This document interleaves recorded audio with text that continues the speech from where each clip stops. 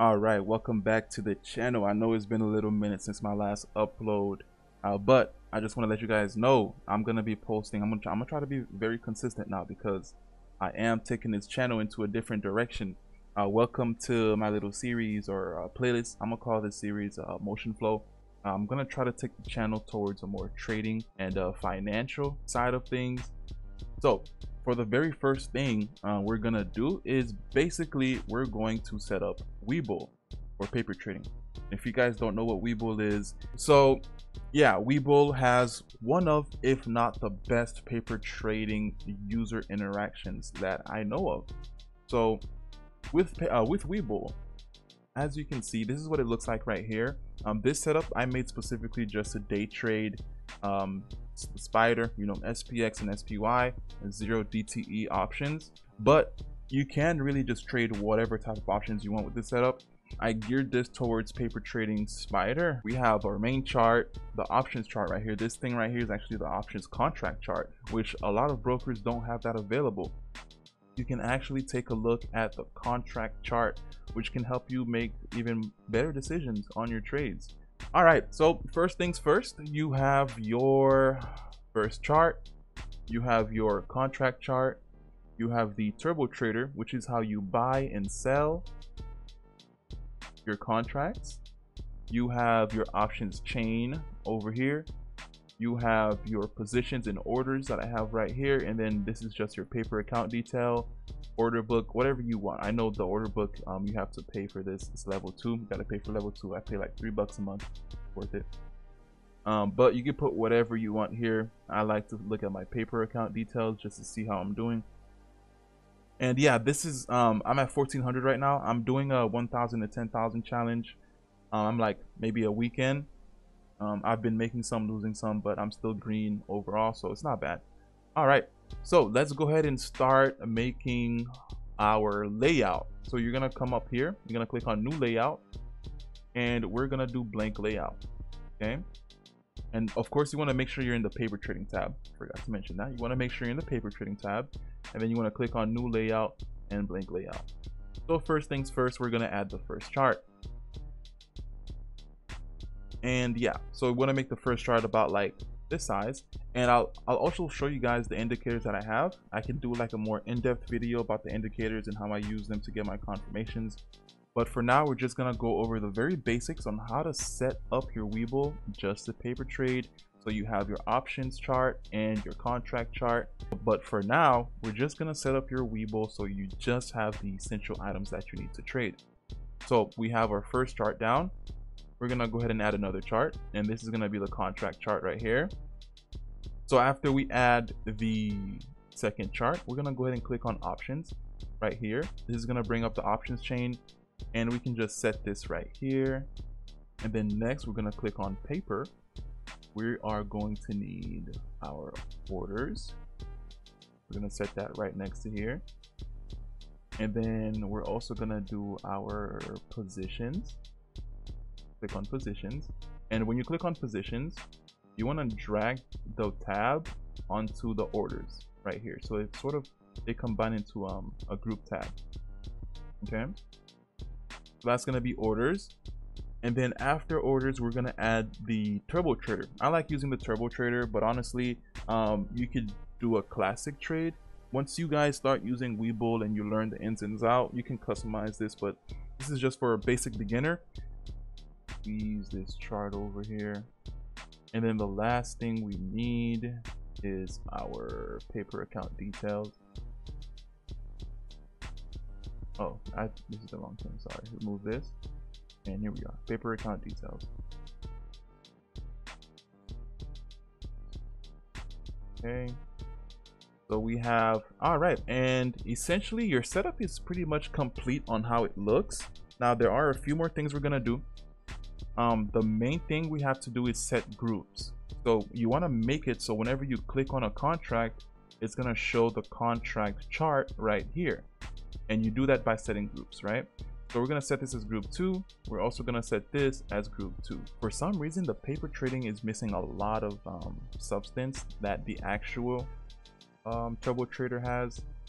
So for some reason, the paper trading on Webull is different from the actual trading, and it's missing a few like things that I would like to have on paper trading, but this is enough. Okay. So yeah, you can just set these two in the same group, and then you want to set this as group two as well. And you are essentially done. Now we're gonna go into some of the settings for these that you want to have, right? So section one, this is gonna be your main chart.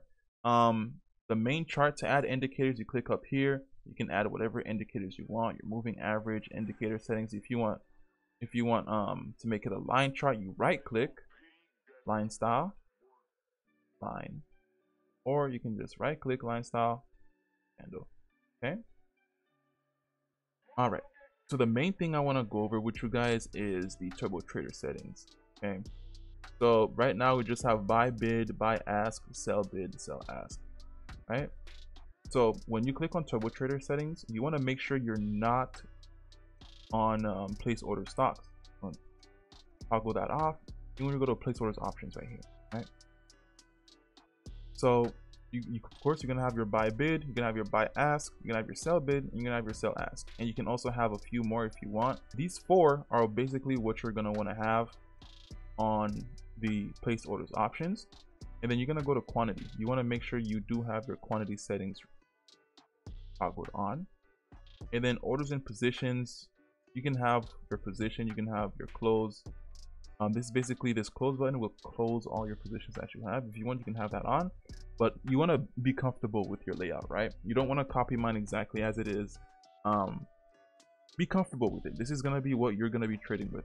So personalize it. You know if there's something you like change it okay?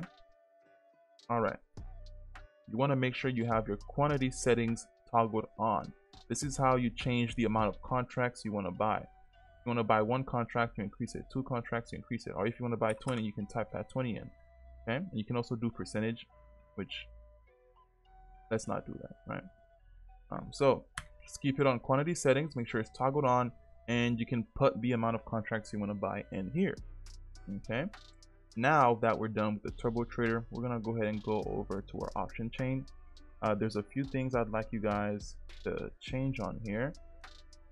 And I don't know how important you guys want your Greeks to be but honestly the only Greek I take a look at is uh, beta.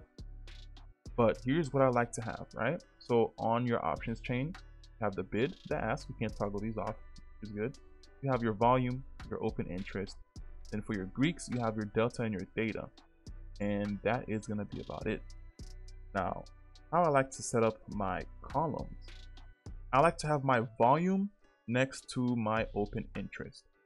That can give me a quick analysis on what type of volume the contract is having how much people so open interest tells you how much people have open positions that haven't been closed yet and of course volume is just volume right so another important thing I want to bring up for the options is how to bring up the options, the underlying contract, right? So if you look here, you click on this, that's going to give you a sell. You click on this, that's going to give you a buy. You have to make sure when you're hovering over the contract that you're looking at, you click on something that's not highlighted red or green. So like you can highlight on open interest, volume, do not click directly on the bid in the ask columns. That will open an order entry and that's not going to bring you your contract price. So if you want to see your contract price, you click on any of these where it's highlighted blue and your contract is going to show up right here in the contract price. And another thing is you might not have live quotes on your Webull. Um, to have live quotes, you can either subscribe to it or I think if you deposit um, money into your account and you make one trade, they'll give it to you for free. So drop 20 bucks, 50 bucks in there, make a little trade and you'll get free live quotes. Okay. And of course, I subscribe to level two. Once again, it's three bucks a month. Um, it's definitely worth it. And let's see, what else do we have to go over? And that's going to be pretty much it, honestly. And I'll show you guys um, some clips on how we can place orders and how it is in, in action, okay? Okay, and this video right here is from one of my trading days. I don't remember which, but I'm having a lot of indicators telling me that um, it wants to go up. So I click on paper trade. I have my setup up. I'm looking for a contract. I find one and here we are. So this SPX 5835 call. and I click buy five ask. You see it says that right there and boom, it triggered. That little, it turned blue. That means we're in. Click on positions and here we are. Now right click on that little blue, close an order entry. This is how you can set a limit price basically kind of like your take profit uh, but this is just your limit sell. This is how you can do uh, an easy limit sell from the contract chart itself. So you see I set it to 160 and I set that in place. And yeah basically that's pretty much it.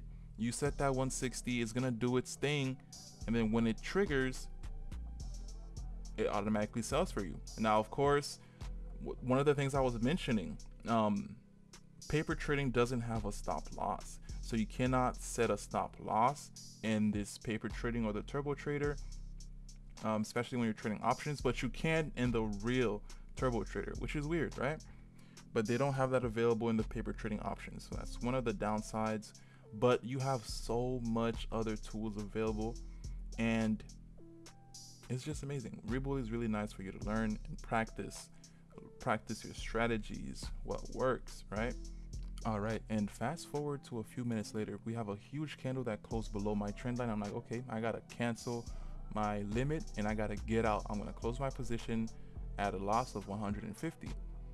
So I'm like, damn, that's tragic, right? So this is another way you can um, exit your position. Okay, so yeah, I was really using the TTM squeeze as my indicator, like the momentum indicator as a rebound, and it didn't want to happen, right? You see, it closed below my trend line that I drawn, and that the next green candle, it wicked. It had a top, a long top wick, so that seems to me that sellers are in control, buyers cannot take control, so I need to close my position. So I click on close, right? After I canceled my take profit, and I was just like, you know what, just get me out at 90. I'll take whatever I can get, please. And it took me out. And that is another way you can exit your positions. All right, and that's gonna be it for the video. Um, if you guys have any questions, don't hesitate to leave a comment. Um, that's pretty much it. Leave a like, subscribe. I appreciate y'all. I'm out.